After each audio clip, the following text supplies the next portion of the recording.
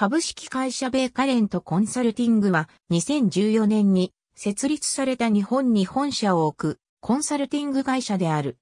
東証一部上場企業、銘柄略称はベーカレ C。港区虎ノ門の虎ノ門ヒルズ森タワーにオフィスを構える。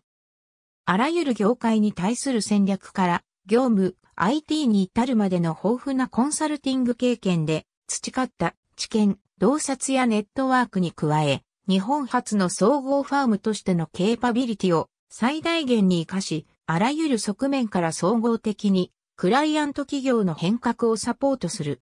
サービス株式会社ベーカレントコンサルティング。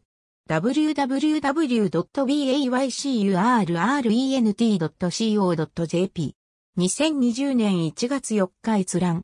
アジア S200 ベストアンダー、A ビリオンリストハット、東洋経済グロース500、2020年に株価が上がったトップ200 SHIKIHO.JP2021 年4月29日閲覧。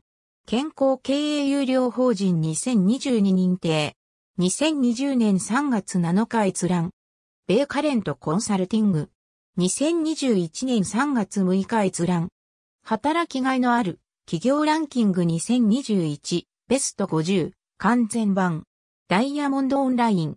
2021年1月28日閲覧。6、1速報、東大京大、21卒就職ランキング、マッキンゼーを抜いた1位の企業の意味、人気ベンチャー新語三夜など就活サイト、ワンキャリア。www.onecareer.jp。2020年1月4日閲覧。京都大学、就職先企業、団体ランキング2020、全20位、完全版。ダイヤモンドオンライン。2021年1月28日閲覧。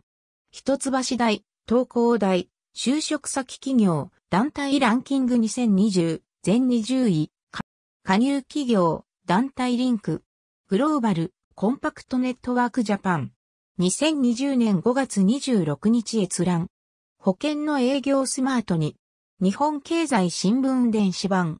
2020年1月4日閲覧。M&A 戦略から PMA5 まで、コミット、メイビスパートナーズ。メイビスパートナーズ株式会社。2021年3月6日閲覧。メンバーインタビュー、インターンから取締役へ COO 山室がメリービズで働く理由とはメリービズブログ。www.wontedly.com ありがとうございます。